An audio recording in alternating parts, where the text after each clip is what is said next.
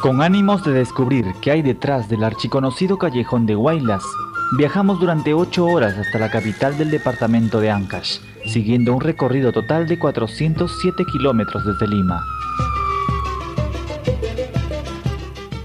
Antes de partir a nuestro objetivo conocido como la Ruta de Gran Chavín, visitamos algunos atractivos cercanos a la ciudad de Huaraz, como la Piscigranja, un criadero donde se puede observar truchas de diversos tamaños.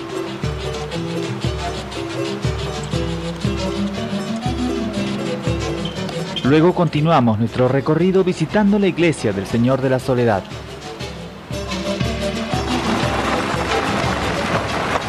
Continuamos luego por un camino de herradura con rumbo al mirador. Desde este lugar se podía observar todo el panorama de la ciudad de Huaraz, así como sus limpios y azules cielos adornados de hermosas nubes y blancos nevados.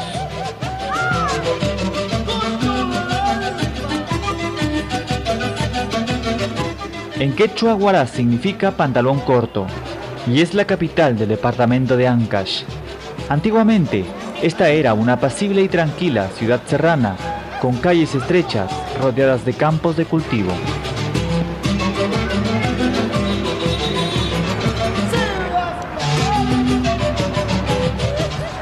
Viajando hacia el sur de Huaraz, llegamos ahora a la Gruta San Patricio. En la parte alta podíamos observar una imagen puesta por un padre de Roma llamado San Patricio, de allí su nombre. En el interior podíamos notar las formaciones naturales de pequeñas estalactitas y estalagmitas.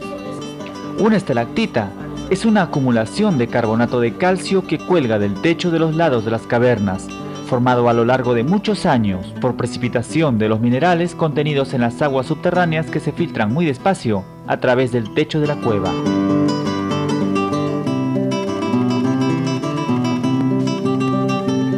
Continuamos nuestro viaje por el callejón de Huaylas, llamado así por su semejanza a una inmensa zanja de 180 kilómetros de largo, abierta entre dos imponentes cadenas de montañas, llamadas la Cordillera Blanca, cuyas montañas están cubiertas de nieve, y la Cordillera Negra, llamada así por carecer de nevados. Pronto, después de 18 kilómetros desde Catac, la carretera nos conduce hasta la laguna Querococha, a 3.980 metros sobre el nivel del mar, lo que nos permite saber que ya estamos en los territorios del Parque Nacional de Huascarán. La hermosa laguna de aguas siempre tranquilas sirven de marco a los imponentes nevados Yanamarey y Pucarraju.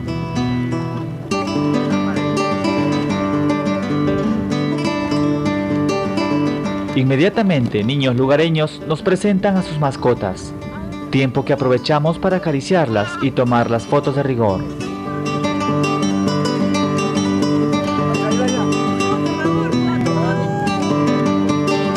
Luego de encariñarnos con los hermosos animalitos, nos atrevemos a tocar las heladas aguas de la laguna Querococha. No sin pena dejamos la laguna para ascender unos metros y observar un hundimiento natural de tierra entre dos cerros, cuya forma asemeja el mapa del Perú.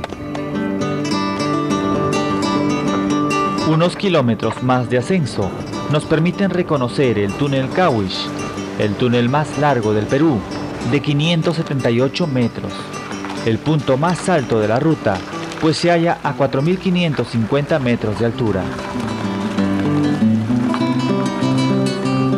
Del otro lado, una imagen de Cristo nos saluda bendiciendo a los viajeros. El viaje continúa en un rápido descenso valle abajo y el camino empeora como consecuencia de las abundantes lluvias y falta de mantenimiento. Sin embargo, tenemos la recompensa de observar hermosas quebradas decoradas con enormes plantaciones multicolores.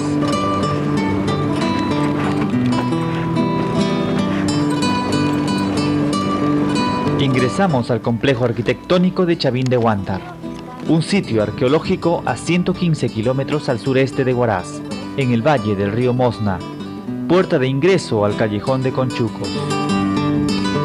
Chavín era el lugar de peregrinación, al que acudían gentes de lugares muy lejanos portando ofrendas para consultar al prestigioso oráculo que albergaba el templo. Aquí se observa un grupo de edificios dispuestos alrededor de una gran plaza. Allí abundan las famosas cabezas clavas, litoesculturas con rasgos feroces, mezcla de humano y felino. El conjunto comprende una sorprendente red de galerías subterráneas, en cuyo interior se encuentra clavado al suelo el lanzón monolítico o felino sonriente, una escultura de más de 5 metros de altura que muestra rasgos de felino, serpiente y ave de rapiña.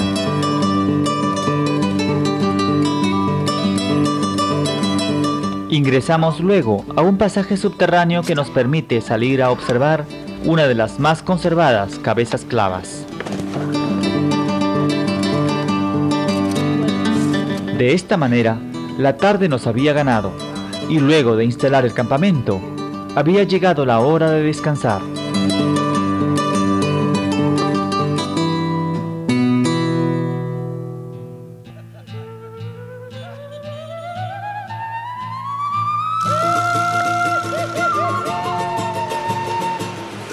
Con las energías renovadas, continuamos la ruta al callejón de Conchucos, en busca de lugares poco explorados.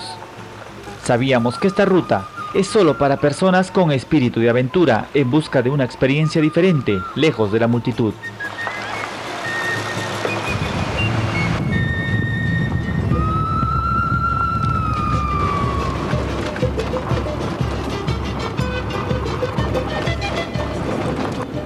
La salida de Chavín nos lleva paralelo al río Mosna, hacia una zona agrícola de gran productividad. Luego de viajar 35 kilómetros desde Chavín, llegamos a Guari, célebre capital provincial, fundada por el virrey Toledo en 1572 con el nombre de Santo Domingo de Guari. Guari es una ciudad que aún conserva su aire señorial y su bella arquitectura típica. Al frente de la plaza principal resalta el moderno edificio de la iglesia local de Santo Domingo. La palabra Guari proviene del quechua y significa indómito, áspero, quizás en alusión a lo abrupto de sus montañas. Los pobladores de Guari son conocidos como Michicanca, que significa come gatos. La broma es bien tomada por los pobladores, tanto así que la pileta de su plaza principal está adornada con gatitos de bronce.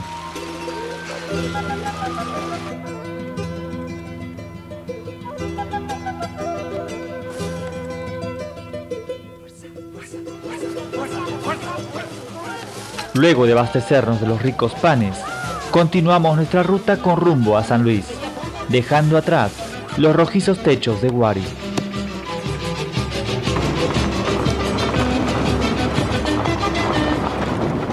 Bosques de aliso y eucalipto dan al paisaje de esta ruta un sabor especial que recuerda a las alturas de Cajamarca.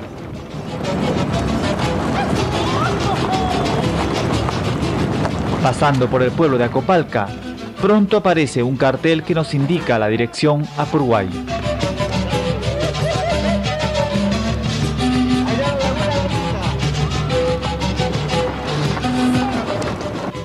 Esta bella laguna de Purguay tiene forma de ocho y está poblada de truchas y rodeadas de bosques de eucaliptos.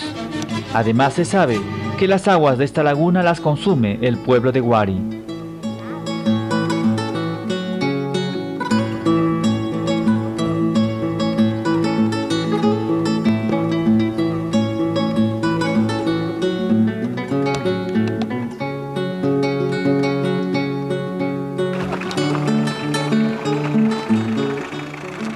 Abandonamos luego este bello lugar para visitar la piscigranja de Acopalca, una buena alternativa para la compra de truchas. Aquí pudimos constatar que esta piscigranja está en mejor estado de conservación con respecto a la de Huaraz.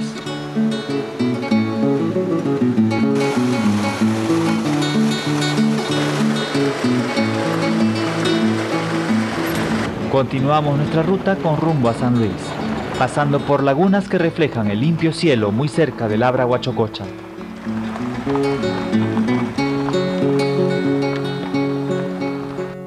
Por fin, luego de un largo viaje, llegamos a San Luis.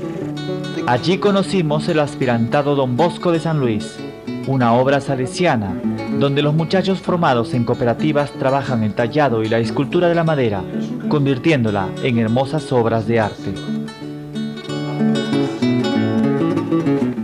Aquí visitamos un laboratorio de bajo relieve y el padre encargado nos comenta que el aspirantado Don Bosco crece sobre el impulso de la cooperativa, la cual dura tres años. En tal periodo, los jóvenes descubren la propia vocación artística, siendo ayudados a perfeccionarse técnicamente para lograr mayor autonomía. De esta manera, tratan de valorar el talento de cada muchacho. También nos muestra con entusiasmo los trabajos en alabastro, los talleres de pintura y los trabajos en pan de oro. Luego nos dirigimos al taller de restauración, un lugar donde lo viejo se arregla y se vuelve como nuevo. Cerca al atardecer, nos quedamos sorprendidos con una hermosa cocina de metal que no tiene nada que envidiar a las más modernas. Pues aprovechando la abundancia de la madera, utilizan leña para cocinar. Y gracias a esta cocina, no les falta agua caliente en la ducha. De esta manera, se cumplió otro día en esta magnífica ruta, pero pronto nos daríamos cuenta que esto solo era el principio.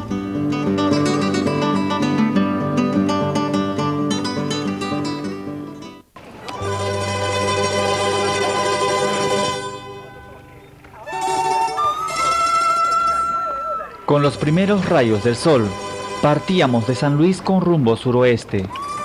La ruta nos lleva cuesta abajo a través del inmenso valle. Pasamos el pueblo de Acochaca y el esplendor del radiante día nos permite gozar de los hermosos paisajes. Unos minutos más y ya ingresamos a Chacas, donde lo primero que salta a la vista al llegar a su plaza principal es su hermosa iglesia, sin duda la más bella del departamento.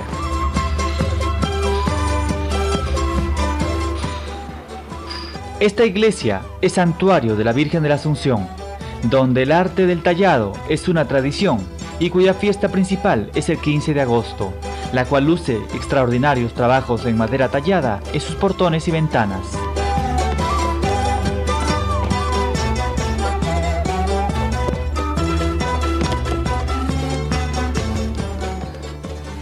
En Chacas se respira un aire especial. Basta aproximarse para notar sus casas de blanco inmaculado, los techos de tejas bien cuidados y los bellos portones y balcones de madera labrada. Y es que la obra de los jóvenes voluntarios italianos de la organización Mato Grosso ha cambiado de manera radical la cara del pueblo y de sus habitantes.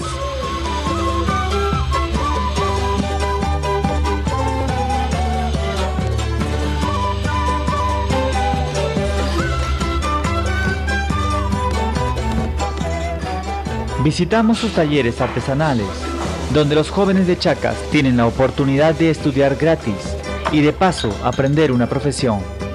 El internado les brinda alimentación completa, asistencia médica y enseñanza, luego de lo cual tienen la posibilidad de partir o formar parte de la cooperativa de artesanos que produce y exporta trabajos en madera al mundo entero.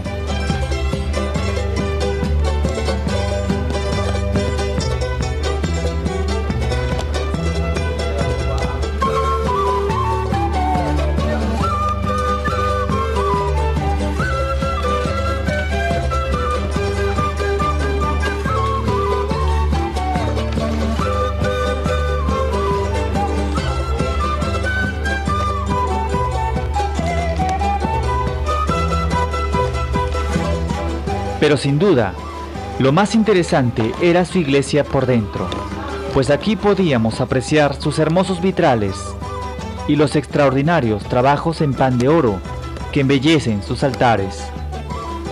Este imponente altar mayor de la iglesia de Chacas simboliza la creatividad de sus artesanos. Permite contemplar bellos relieves de madera y está dedicado íntegramente a la Virgen de la Asunción, patrona de Chacas. No sin pena, Nos despedimos de Chacas para continuar hasta las alturas cordilleranas del callejón de Conchucos, para visitar una zona poco conocida por los miles de turistas que visitan el departamento.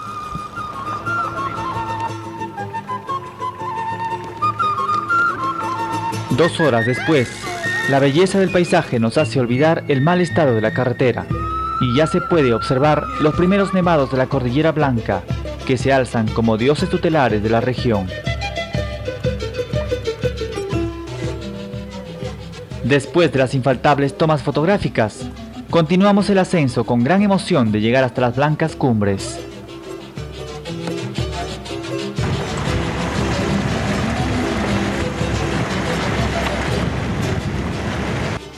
Una sucesión de lagunas ubicadas en las faldas de los nevados nos obligan a detenernos, solo para quedar extasiados con su belleza silvestre casi inalterada. Aquí, intentamos tocarlas aunque sea con algunas piedras que lanzamos desde las orillas, y la satisfacción de estar cerca a la meta nos emociona a cada instante. Continuamos nuestro ascenso por más de 20 kilómetros de inclemente subida, con cerca de 42 curvas y pendientes, desde donde van surgiendo nuevas lagunas de color turquesa. Por fin llegamos a Charhuacocha o Lago de Bagre, una hermosa laguna de cambiantes colores que nos regalaba la naturaleza.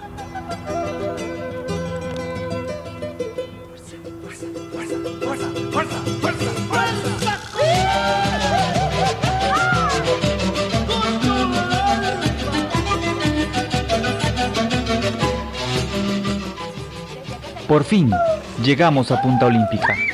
Literalmente, estábamos en un gigantesco congelador, lugar de enormes paredones de hielo que no nos resistíamos a tocar y lanzar.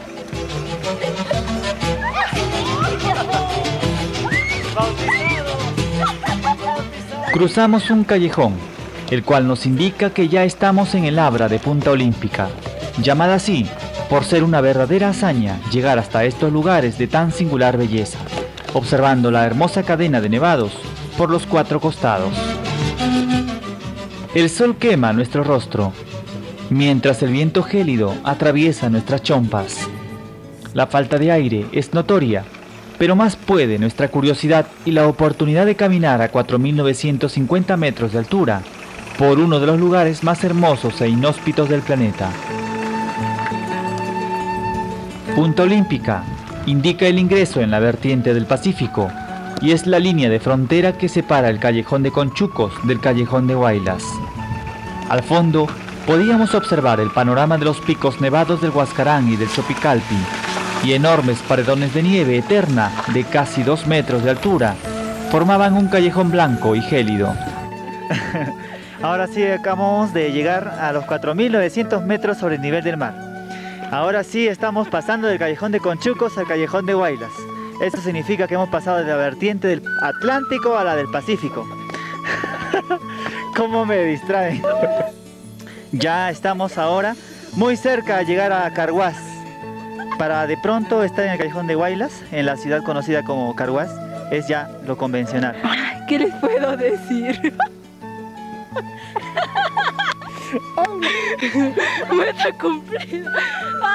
En la soledad de esos hermosos parajes, éramos las únicas especies que superando las dificultades habíamos logrado llegar a la meta. Y ante cada soplido del viento, era como si las enormes montañas nos preguntaran qué hacíamos aquí.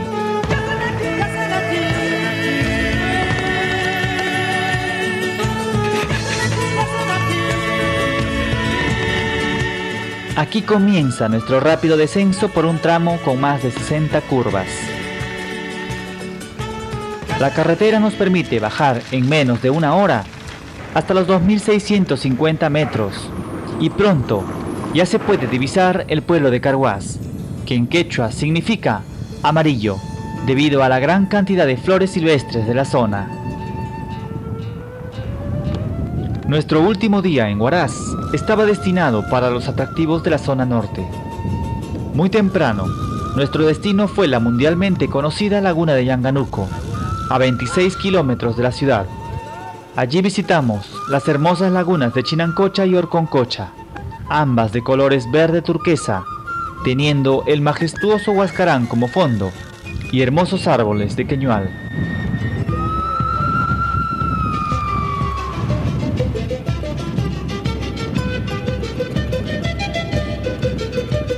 Finalmente visitamos la reconstruida ciudad de Yungay, la que fuera literalmente sepultada por un desprendimiento de hielo proveniente del Huascarán durante el fatídico terremoto de 1970. Un Cristo blanco se levanta con los brazos extendidos como mudo testigo de la historia. Y debajo de nuestros pies se encuentran las tumbas de miles de personas desaparecidas por el alud de aquel fatídico año. A pesar de todo, queda la satisfacción de saber que Huaraz no solamente es el callejón de Guaylas, y que a sus espaldas, en el callejón de Conchucos, aún se puede gozar del apacible trajín de las poblaciones andinas, de sus inmaculados paisajes serranos, sus impecables lagunas altoandinas y sus extraordinarios nevados. De esta manera, bastaron cuatro días para lograr nuestro objetivo y convencernos del enorme potencial ecoturístico que guarda la ruta del Gran Chavín.